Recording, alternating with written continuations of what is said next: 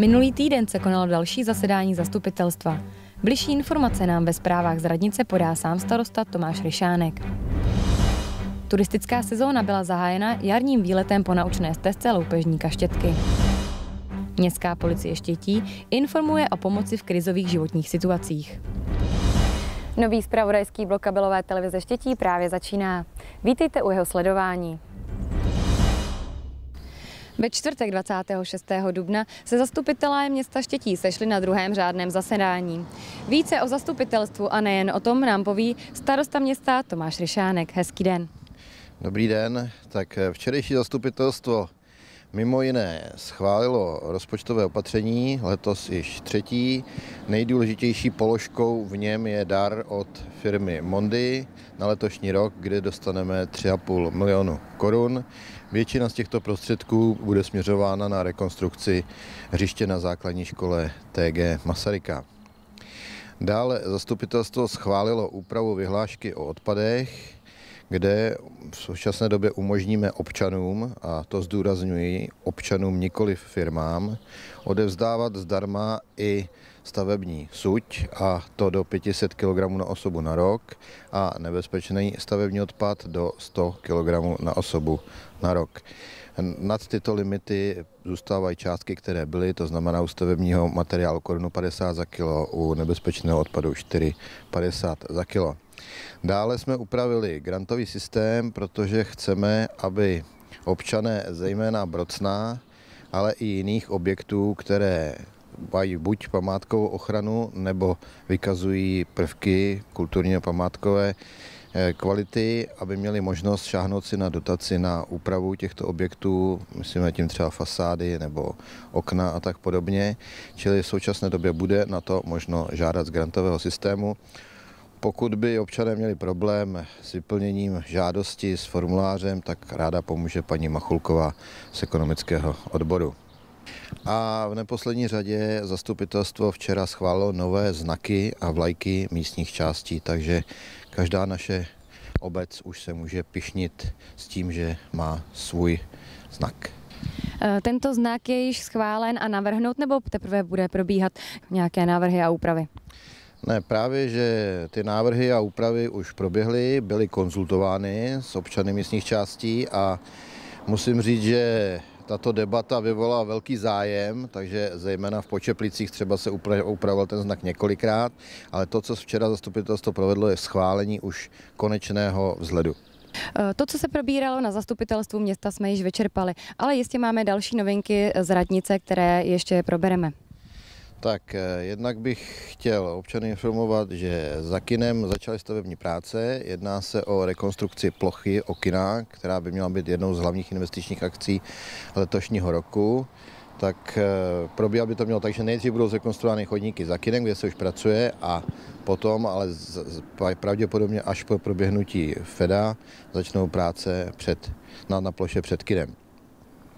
Dále jsme na pěší zóně zkusmo umístili květináče, tak, aby jsme zabránili vjezdu automobilů z parkoviště před obchodním domem na pěší zónu. Vedlo nás k tomu to, že řidiči nezodpovědní a bezohlední řidiči neustále nedodržují zákaz vjezdu na tuto pěší zónu a nejen, že tam teda projíždějí, ať tam nemají co dělat, ale kolikrát projíždějí i tak vysokou rychlostí, že jsou skutečně nebezpeční. Tak eh, zkusíme, jestli zabere toto opatření. Co se týče nezodpovědných řidičů, tak bohužel bych se rád zmínil ještě o jednom nešvaru ve městě. Začali jsme na jaře blokové čištění, čištění ulic, kde tedy na několik hodin a není to na dlouhou dobu. Vyblokováváme jednotlivé parkovací místa, které by měly být uklizeny a zároveň provádíme nalajnování parkovacích míst. A musím smutně konstatovat, že řada řidičů toto opatření nerespektuje, ať je vyvěšeno v dostatečném předstihu několika dní tak nám tam úplně nepochopitelně třeba v ČSA zůstalo šest aut na jednom místě a nemohlo tam toto toto značení být provedeno ani uklid. Takže ještě jednou žádám všechny řidiče, aby respektovali toto opatření a upozorňuji ale, že městská policie to bude pokutovat. E, co se týče městské policie, e, určitě mělo teďka mnoho práce. Řekněte nám, z jakého důvodu. Městská policie má neustále mnoho práce, když to možná někdy vypadá, že ne, ale staly se dva takové nepříjemné případy na Novém náměstí, vždy z pátku na sobotu, kdy v jednom případě byly vysypány koše, druhý případ byl vážnější, kde ty koše byly i rozkopány. Je to podle mého názoru neomluvitelný vandalismus, a prostě ničení majetku města. V prvním případě, nebo v takhle, v obou případech byli pachatelé zjištěni. My tím, že jsme tam zrekonstruovali osvětlení, tak je teďka v kamerovém systému lépe poznat, kdo se na tom náměstí pohybuje a kdo tam takto řádí. Takže v prvním případě byli oba řešeni pořádkovou pokutou ve výši 1000 korun pro každého. V druhém případě to bude závažnější, protože došlo k poškození majetku města, čili budeme po pachatelích, o kterých víme, kdo to je, vyžadovat náhradu, tedy bude to nejenom pokuta znečištění, ale vyžadovat i náhradu za zničený majetek. Aby jsme se ale nezabývali pouze nešvary, máme tu určitě i nějakou pozitivní zprávu, kterou radnice určitě sdělí. Určitě, tak eh, ta pozitivní zpráva, nebo spíš je to poděkování. Víte, že proběhl sportovec roku. Myslím, že tato akce se nadmíru vydařila a já bych chtěl touto cestou poděkovat zejména organizátorům, to znamená našim zaměstnancům z odboru zprávy a z odboru kultury, kteří, se, kteří teda všechno připravili a myslím, že to skutečně stálo, stálo za to. A úspěšně se nám povedlo e, pokračovat e, v přípravě rekonstrukce solnice. Celý objekt byl našimi komunálními službami uklizen, odvezen, odvezen, a, odvezen materiál, který tam byl a věřte tomu, že ho bylo hodně. Napočítali jsme 14 tun odpadu. A protože osadní výbor Počeplice tuto záležitost tak sleduje, tak ve spolupráci s ním jsme připravili takovou zajímavou akci. Letošní tedy Den Počeplic se bude, bude odvíjet z části právě v prostoru dvora Solnice, tak aby občané nejen Počeplic, ale všichni návštěvníci už měli možnost se s tímto objektem seznámit a seznámit se s tím, co se tam nadále chystá. Tak my děkujeme za pozvání na prohlídku a děkujeme za zprávy a budeme se těšit zase příště na viděnou. V neděli 22. dubna zahájili obyvatelé Štětí a okolí turistickou sezónu 2018. Akce se konala na hřišti ve Stračí a přilehlém Borovém lese. S tou tyčičkou Setkání s loupežníkem Štětkou a jeho družinou, překrásná příroda nebo zajímavá místa jako hrabicí kaple a několik stanovišť s nejrůznějšími úkoly. Přes šest desítek lidí vyrazilo v krásném jarním počasí na výlet, který každoročně organizuje kulturní a informační středisko města Štětí spolu s partnery. Cíl cesty je Mordloch, kde jeskyně, kde loupežníci přežívají a snad tam některé z loupežníků potkáme i loupežníka Štětku. Z Mordlochu pak vyrazíme směrem na Špičák, jak Mariánské kaply, kde budou soutěže pro děti. Děti budou soutěži, budou takový kvíz a se se vracíme všichni sem zpět do Stračí. Tady bude vyhodnocení, děti dostanou ceny a každý zúčastněný dostane buřta. Akce je každý rok oblíbenější a účastní se jí především rodiny s dětmi.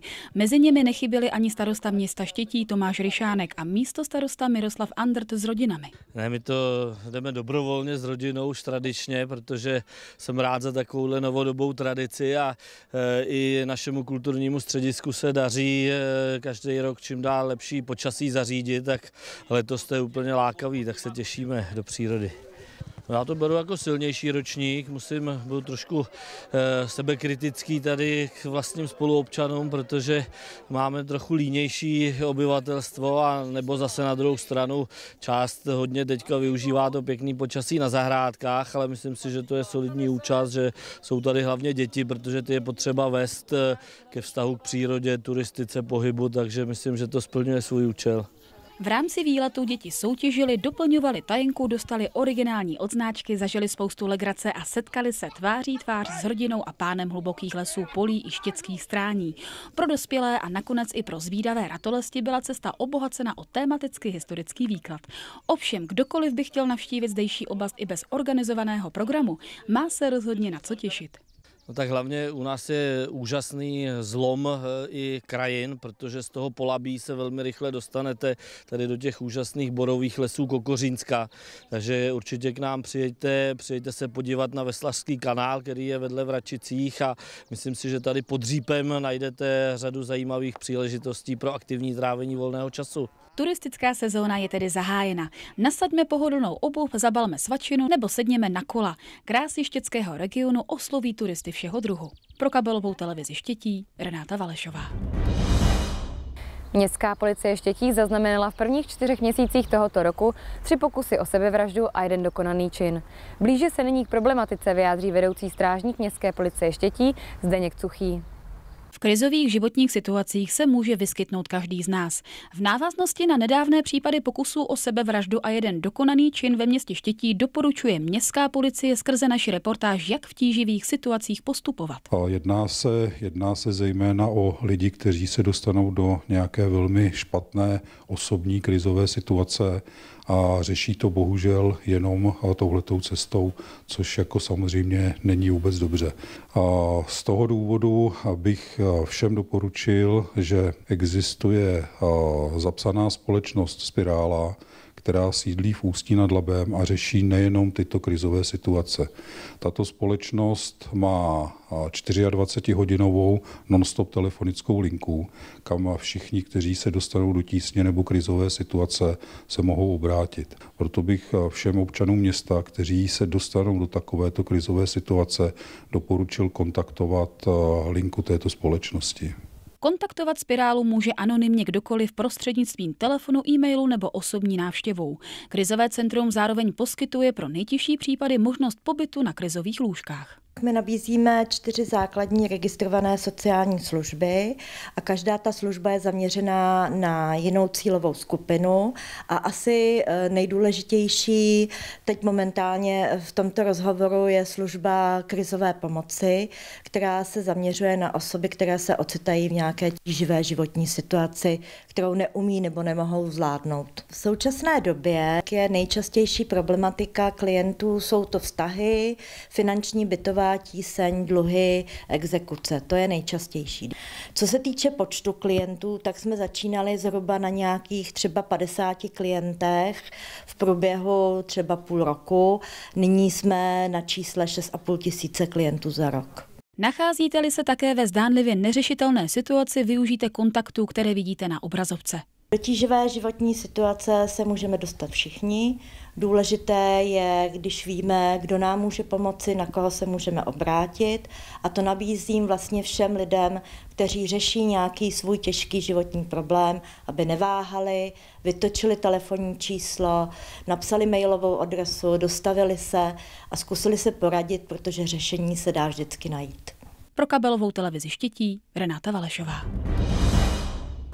sále kulturního střediska se na tradičním jarním koncertu opět představila Severočeská harmonie Štětí. Chybět nemohl ani program mažoretek. Milovníci hudby se 24. dubna začali scházet v sále kulturního střediska, kde pro ně byl připraven program nabitý kvalitními skladbami v podání Štětského dechového orchestru.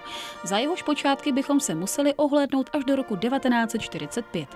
Úterní podvečer zněly sále mimo jiné i maďarské pochody, které doplňovaly svým vystoupením místní mažoretky a pozorní posluchači mohli zaznamenat i novinky. Takže samozřejmě jsme si tradičně připravili nějaké nové věci, protože eh, tenhle ten jarní koncert je de facto takový, řeknu trošičku sportovní terminologii, je to takový přátelský zápas, kde si vlastně ta kapela poprvé od Vánoc zahraje některé nové věci, takže e, pro mě to je i takový jako ukazatel, co ještě zlepšit. Jestli jste se koncertu nemohli zúčastnit, zoufat nemusíte. Příležitosti k poslechu budete mít v nejbližší době ještě dost. Doražte 22. května na tradiční promenádní koncerty na Novém náměstí ve Štětí, nebo se nechejte pozvat už 12. května na Pražský hrad, kde bude mít orchestr hodinové vystoupení ku příležitosti oslav založení Československé republiky. Tam budou jenom české věci, nebudou tam zahraničí, jenom české věci, takže tam samozřejmě srdečně zvu. No a samozřejmě tradičně na Fedo, který se koná třetí víkend v červnu. Vystoupení má orchestr dostatek, ale daří se mu vše obecně dobře? Takže máme teď trošku takový problém, došly nám košile, což znamená, že jsme se rozšířili. což jsem samozřejmě velice, velice rád. Přibyl nám nový tubista z Loun, velice pří, přínosný pro kapelu, protože je skvělý. Přibyli nám hráči eh, malých nátrubků u křídlovek, další tři a další dva hráči na klarinet. Takže musím zatím říct, že kádr se zvětšuje a je z čeho brát, ale do budoucna eh, mám tak jako obavy, ale snad to všechno dobře dopadne, třeba i ve spolupráci tady s místní zuškou. Snad bude přísun nových žáků, hlavně třeba v bicí sekci. Ke spolupráci držíme palce a už za dva měsíce na Fedu na viděnou. Pro kabelovou televizi Štětí Renáta Valešová. Tři prohrané zápasy ze tří. Taková byla bilance štětské starší přípravky na turnaji v neděli 22. dubna. Už dvě jarní kola měla za sebou družstva SK Štětí, SK Sokol Brozany, FK Slavoj Třebenice a TJ Sokol Pokratice před turnajem ve Štětí. Jedná se o semifinálové turnaje okresního přeboru starší přípravky, kam se mužstvo probojovalo po dobrých výsledcích v podzimní části. Každá semifinálová skupina nakonec vyšle dvě první mužstva v celkovém pořadí, která sehrají na začátku června finálový turnaj o přeborníka okresu. Tréninky máme třikrát týdně, a scházíme se docela v hojném počtu. Musíme zabrat všichni, jak trenéři, tak, tak hráči. Štětskému družstvu se prozatím nedaří a ani tento turnaj nepřepsal fotbalistům body za vyhraný zápas. Vylepšit si celkové skóre mají možnost mladí fotbalisté ještě na posledním turnaji 29. dubna na hřišti týmu SK Sokol Brozany. Snad se těmto fotbalovým nadějím podaří potěšit trenéry vytouženým vítězstvím. Odměnili by tak Martina Nedomlela, Radka Švejdara a i sebe za vynaloženou píli při trénincích. Pro kabelovou televizi Štětí Renáta Valešová. Před týdnem 21. dubna dostali fotbalisté SK Štětí až příliš krutou lekci na hřišti prvního celku tabulky. S mosteckým fotbalovým klubem prohráli 5-0. K dnešnímu utkání 28. dubna je čekal soupeř z opačného pólu celkového pořadí, zachraňující se FK Tatran Kadaň. Domácí v červených drezech na nic nečekali a hned od prvního hvizdu se do soupeře zakousli. Vacek ve skluzu natahoval nohy na přihrávku Kuclera, jak jen to šlo, ale i tak byly krátké. Šraga přesným pasem přinutil k náběhu Fausta, jeho střela ověřila pevnost tyčí, i když jen zvenčí. Na míč z rohu si počkal Čámský a levačkou chtěl provětrat pavučiny mezi spodnicí tyče a břevna. To už ale běžela 13. minuta, kopačky nabil vokoun a golmana zachránila tyč. Akce však pokračovala a zakončit ji chtěl Vacek. Mužku přesnou neměl. Staré fotbalové otřepané pořekadlo nedáš dostaneš se málem naplnilo měrou vrchovatou po čtvrt hodině hry. Jak sám voják v poli si musel připadat Vít Karban po volném přímém kopu Čibenky a Gabriel v postřele do břevna mohl jen kontrolovat, zda má správce zdejšího stadionu Jiří Trutnovský správně postavené branky. Mimochodem v pondělí 30. dubna oslaví zdejší správce Jirka Trutnovský 61. narozeniny. Přejeme mu všechno nejlepší. Do zaslouženého vedení šlo štětí v 18. minutě. Hodně tomu napomohl nepovedený díl brankáře, a David Menzel toho zkušeně využil ke střelení branky na 1-0. O chvilku později chybovala Kadaň po druhé. V souboji o míč kapitán Čibenka nešťastně poslal hlavou do gólovky Fausta, který se prosadil a zvýšil na 2-0. Celkový výčet chyb na tři doplnila ztráta balónu. Byl u toho opět Čibenka, ale tentokrát Rejma netrestal.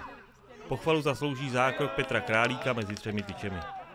Chybička se vloudila i do hry domácích. O tu se postarali Svoboda s Gabrielem ale Karban se jako zoromstitel neosvědčil. Zákrok Janošíka na Rejmana ve vlastní 16. tři minuty před přestávkou byl za hranicemi pravidel a kopala se penalta. Vokoun byl určen jako její exekutor a rozhodnutí to bylo správné, protože s přehledem upravil výsledek na 3-0. Druhá půle už tolik fotbalové krásy nepřinesla. I když akce v 58. minutě, při které Rejman krásně našel Fausta a ten zvýšil už na 4-0, slibovala další hezké momenty. Po rohu Vokouna a hlavičce svobody míč branku Kadaně minul. O tom, že se hosté nebudou domů vracet bez střelené branky, se postaral po jedné z mála příležitostí Richard Čibenka, když hlavou snížil na 1-4. Štětí se s tím smířit nehodlalo a náskok chtělo ještě navýšit. Začalo ale spalovat jednu šanci za druhou. Walter čekal příliš dlouho, až mu brankář střelecký úhel vynuloval. Mladík Robert Feko měl na noze svůj historický první gol v dresu dospělých ale branku netrefil. Na úplný závěr ještě jednu šanci spálil Faust, ale to už tu byl konec a s ním vítězství Štětí 4-1. Tak já si myslím, že my se teď trošku herně zvedáme. Poslední ty čtyři utkání víceméně jsme odehráli nějakým, nějakým zlepšeným, po nějakých zlepšených výkonech. Uhráli jsme slušné výsledky, ale dneska zaslouženě domácí prostě ukázalo se, že jsou opravdu mají velkou ofenzivní sílu a jsou tu už velice šikovní fotbalisté, takže jako já myslím, že domácí určitě vyhráli zaslouženě. Druhý poločas, teda když zhodnotím, tak ještě si myslím, že tam došlo k ještě k trošku lepší, většímu zlepšení z naší strany, kde teda jsme trošku se snažili o nějaký eh, celoplošný pressing, více teda přesunout tu hru na eh, půlku domácích, což se nám teda v některých částech toho druhého poločasu dařilo a získávali jsme trošku i takovou jistější půdu pod nohama, že kluci si začali víc ale na druhou stranu říkám, i mohli jsme inkasovat, jo, že, že jsme trošku šli i do rizika, že, ale domácí určitě vyhráli zaslouženě. No minulý týden jsme v Mostě propadli a tak jsme to chtěli dneska napravit a myslím si, že se to povedlo. Máme velký problémy se zakončením, mohlo to být rozhodnutý už během první čtvrt hodiny, ale trpělivostí potom první branka jsme se chytli a už to šlo. No tam jsme v 20. minutě jsme dávali druhý na 2-0 rychle, a, ale zase na druhou stranu ty soupeř potom vystrkoval růžky a měl tam nějaký náznaky a uh, ta hra naše už taková jako na začátku nebyla. Snažili se presovat a s tím jsme měli problémy, protože ten balon dáváme pozdě od nohy, ale myslím si, že jsme to, že jsme to zvládli a že ten západ dopadl dobře. Tak jo a teďka do Modlan hned až tři dny. V úterý do Modlan, pondělí vyklušem trochu a jdem na ně a myslím si, že, že když podáme takovýhle výkon, tak to nemůže, nemůže dopadnout špatně. SK Štětí si upevnilo druhé místo v tabulce. Pomohla tomu i domácí prohra Modlan s Neštěmicemi. Na čele je Mostecký fotbalový klub. Úterý 1. května čeká tým v 11 hodin dohrávka 16. kola na hřišti v Modlanech proti domácímu baníku. V sobotu 5. května hraje také venku v 15.00 proti FK Bílině. Další domácí utkání je na programu 12. května v 10.15, kdy SK Štětí přivítá SK Brnou.